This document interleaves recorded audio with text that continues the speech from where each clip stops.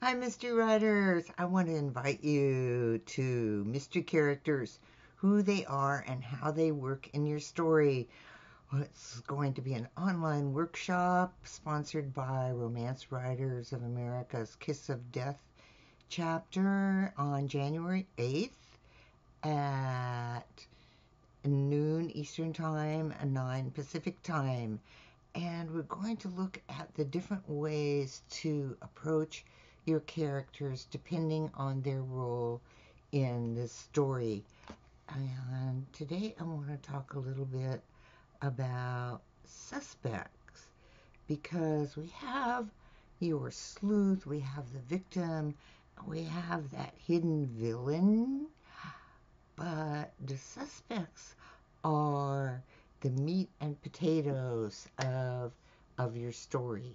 They're what how your story builds. They they provide clues, they provide red herrings, they provide obstacles for your sleuth.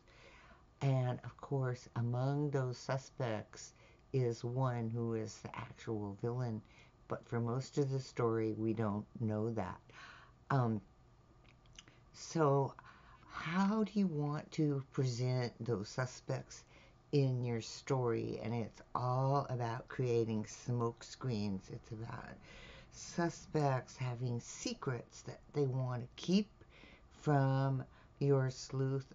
Those secrets may have nothing to do with the crime that your sleuth is trying to solve, but they're still secrets, and your suspects are going to tell lies about those secrets. So you need to develop not only the secrets that your suspects have, but also the lies. So I encourage you to sign up and I'll see you there. We're going to have a little bit of presentation, um, some writing exercises, and question and answer sessions, and sharing.